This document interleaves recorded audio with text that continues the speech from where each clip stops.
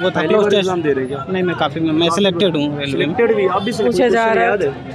अब इतने क्वेश्चन नहीं याद रहते ईडीएम्स हो। गए आपके। तो जो एसएससी का पैटर्न था जैसा कि आप लोगों को पता है S S C ten plus two का सेकंड शिफ्ट का एग्ज़ाम चल रहा है। कुछ समय बाद कैंडिडेट बाहर निकलेंगे और आज का रिव्यू में बताएँगे कि किस तरीके का लेवल रहा कैसा पेपर रहा किस तरीके से मैथ्स से क्वेश्चन आए जी एस जी के क्वेश्चन आए। जिस तरीके से अभी तक देख रहे हैं कि लगातार एक दो या तीन टॉपिक से पाँच से सात सात सात क्वेश्चन पूछे जा रहे हैं। तो बहुत सारे स्टूडेंट हैं कि वो कह रहे थे कि, सर कमेंट में जाके बता सकते हैं अपने क्वेश्चन जो आप लोग पता रहता है कि आज के क्वेश्चन क्वेश्चन है तो कमेंट भी करके बता सकते हैं।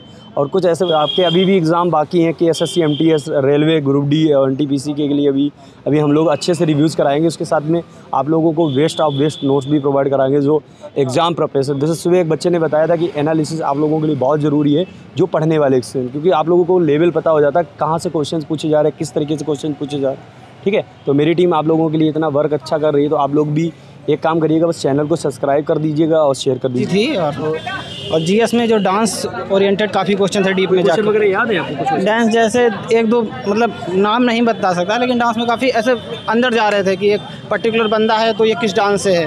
पर्टिकुलर डांस दे दिया तो उसमें बंदे दे दिए चार कैसे आ रहा है? और इंग्लिश में एंटोनिम्स थे। मैथ्स और रीजनिंग बहुत ईजी वगैरह सबसे ज़्यादा टॉपिक किस टॉपिक से क्वेश्चन थे? टॉपिक से इसमें जीएस में डांस हो गया और ये तबला वादक जैसे होते हैं सितार ये जो वाद्य यंत्र होते हैं और इसमें था।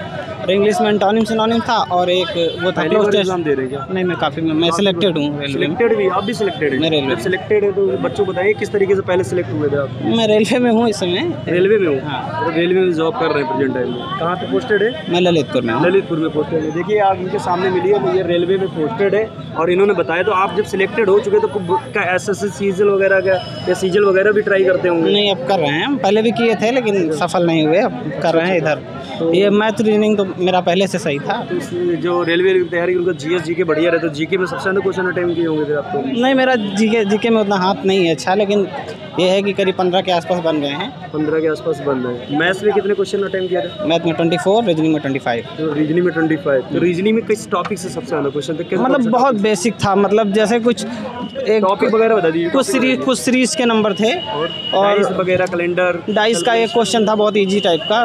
तो उसमें डाइस में तीन नंबर थे तीन अल्फ़ाबेट्स थे। तो एक अनकॉमन था और दो कॉमन थे। तो उसी का पूछ फिगर वगैरह से क्वेश्चन था?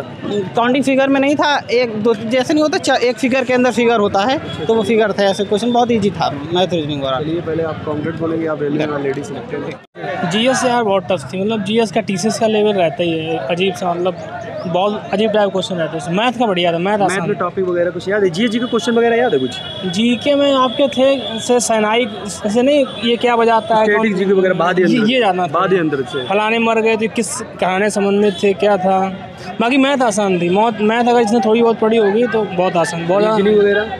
रीजनिंग भी आसान थी कोडिंग रिकॉर्डिंग और आपकी वो ग्राफ वाले थे इसमें क्या फिगर आएगा? तो जो था वो मैंने आपका जी के जी एस था वो। इंग्लिश इंग्लिश क्वेश्चन कैसे इंग्लिश में भी आया था आपका वो फिलिंग द ब्लैंक्स आए थे आपका एक्टिव पैसे आया था बनवर्ड आए थे मीडियम्स वो कैम में आया था वो अब एग्जैक्ट मुझे याद नहीं आ रहा। इन मिसिस वेल्ट आए थे।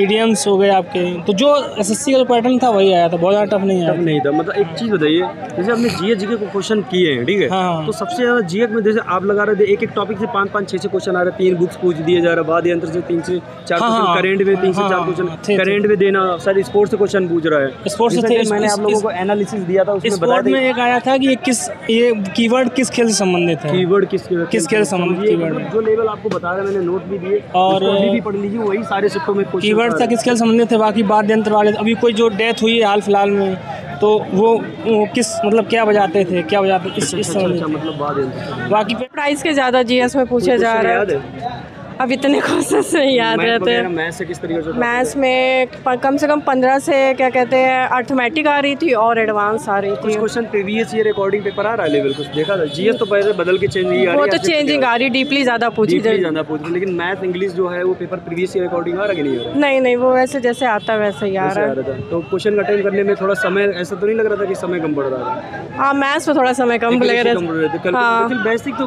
मैथ्स बहुत बेसिक सी आ रही ज़्यादातर फार्मूला बेस पे आ है रहा। हाँ फॉर्मूला ही बेस पे आ रहा है एडवांस लेवल में। डीआई वगैरह के क्वेश्चन थे? डीआई के तीन क्वेश्चंस थे। तीन क्वेश्चन थे। इंग्लिश में क्वेश्चन किस टॉपिक से सबसे ज़्यादा थे क्वेश्चन से ज़्यादा एंटोनियम्स वगैरह ज़्यादा पूछे जा रहे थे। दो चार उसके ज़्यादा ही क्वेश्चन थे। सिनोनिम्स पैसेज वगैरह नहीं था। मैं तो रीजनिंग तो अच्छी थी मॉडरेट थी। बस जीएस थोड़ी टफ थी। बाकी सब तो ठीक था। कुछ याद है आपको? नहीं फ़िलहाल अभी क्वेश्चन तो नहीं याद है। कुछ नहीं याद है? नहीं। अच्छा लेवल कैसा लगा था? इज़ इट अजी हम पूछे लेवल पूछा जाए तो मॉडल लेवल था इजी था या हार्ड क्या लगा आपको पेपर देखिए जो करंट जीएस है जीएस में कुछ हद तक स्टैटिक जी की। स्टैटिक जीके थे हाँ। और? और रीजनिंग में कैलेंडर से एक क्वेश्चन आया था। और? बिल्कुल नॉर्मल था। कोई क्वेश्चन वगैरह याद है आपको? कुछ? क्वेश्चन तो देखो जैसे लोक नृत्य है ठीक है? और स्ट्रेटजी के में जैसे गेम गेम और उसके का नाम कौन किस गेम से कौन सा शब्द संबंधित है ठीक है? और मैथ में औसत से आया था। औसत से आया था। हाँ। और? परसेंटेज लाभ हानि से आया था। और ठीक है? और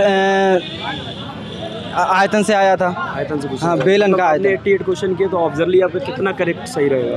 अब कितना सही होगा मैथ रीजनिंग में अच्छे अच्छे मार्क्स मतलब आपको मैथ रीजनिंग पे बिलीव जीएस पे नहीं है विश्वास जीएस में हाँ जीएस में थोड़ा जीएस में थोड़ा मतलब लेवल अच्छा था जीएस में। जीएस का लेवल तो कहे तो बहुत वगैरह कुछ याद है जीएस जीके वगैरह का? किस तरीके से लेवल जीके के रीजनिंग के थोड़े से इजी थे बट मैथ के थोड़ा बताओ जीएस जीएस के एंड तो वही टॉपिक सारा सेक्टर में पूछे जा रहे हैं। डांस बेस के क्वेश्चन थे आजकल।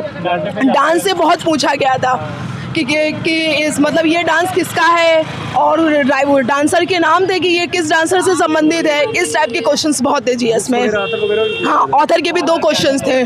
मैथ्स में तो वही टॉपिक जो हाँ मैथ्स में तो वही है जैसे नॉर्मल टॉपिक थे सारे सबसे एक एक दो क्वेश्चन पुट अप हुआ है मेंसुरेशन से क्वेश्चन है? इंग्लिश में सभी चीज़ें थी। हाँ हाँ इनकम हाँ। तीन से चार क्वेश्चन होंगे हाँ। और पी क्यू आर एस वगैरह था क्वेश्चन था इस बार वाले में पहले में पी क्यू आर एस हाँ एक क्वेश्चन था। हाँ। और और और इसके बाद वो सिनोनिम्स एंडोनिम्स के भी एक एक दो दो क्वेश्चन पुट अप हुए हैं। अच्छा अच्छा। आपने मतलब किस तरीके से लेवल लग रहा था? पेपर हार्ड लग रहा था इजी लग रहा था कैसा लग रहा था? मैथ का सेशन थोड़ा सा हार्ड था बट जीएस और जीके और जीएस थोड़ा सा इजी था। जीके जीके जी मैम आपने कितने अटेम्प्ट किए क्वेश्चन मेरा तो फ़र्स्ट अटैम्प्ट बस सिक्सटी की है। सिक्सटी किए तो बहुत कम क्वेश्चन अटेम्प्ट कर पाए आपने। हाँ तो अभी पहली बार है ना इसलिए ज़्यादा नहीं हो 60 पाए मतलब कट ऑफ़ जिस तरीके से जा रहा था ना तो आपका क्वालिफाई भी नहीं होगा। मेहनत करना है आपको और भी ज़्यादा। हाँ, सी एस एल के लिए आपको क्वालिफाई करना जॉब लेनी तो एट्टी फाइव क्वेश्चन सही होना चाहिए आपको। अब 60 जितना कर पाए आप बताइए। अकेले आए हैं कानपुर से कहाँ से हैं? रनिया से। हैं। रनिया से आए हैं। इतनी दूर से पेपर देने हैं धूप कितनी भयंकर है टेम्परेचर देखिए। आपने कितने अटेम्प्ट किए सेवेंटी सेवेंटी क्वेश्चन अटेम्प्ट हाँ। कैसा पेपर आया था आपका? कैसा हुआ? बस ठीक था। ठीक था पेपर कितने आपने अटेम्प्ट किए? सेवेंटी हाँ. कितने करेक्ट होंगे क्वेश्चन याद है कुछ? नहीं इतना तो नहीं याद है। अच्छा हुआ पोर्शन को मैथ में रीजनिंग में जीएस मैथ तो मुझे टफ लग रहा था। मैथ टफ लग रहा था।